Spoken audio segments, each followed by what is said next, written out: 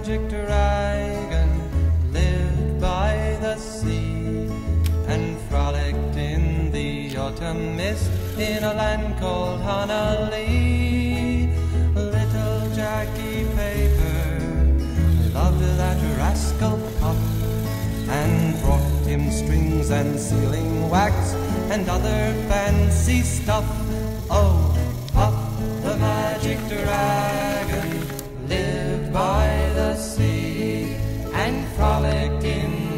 Autumn mist in a land called Honah Lee. Puff the magic dragon lived by the sea and frolicked in the autumn mist in a land called Honah Lee.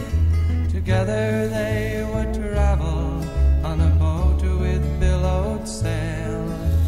Jackie kept a lookout perched on Puff's gigantic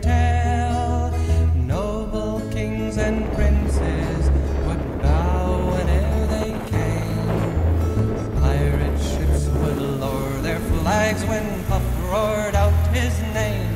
Oh, Puff the magic dragon lived by the sea and frolicked in the autumn mist in a land called Honah Lee. Puff the magic dragon lived by the sea and frolicked in the autumn mist in a land called Honah Lee. A dragon lives forever, but not so little boys. Painted wings and giant's rings make way for other toys.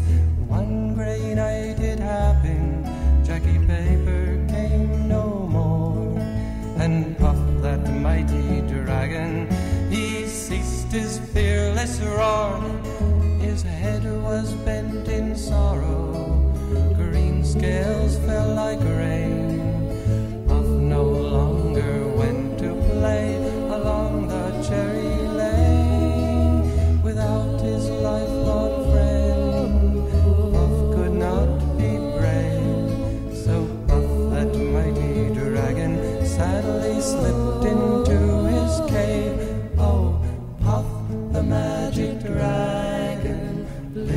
by the sea and frolicked in the autumn mist in a land called Honah Lee.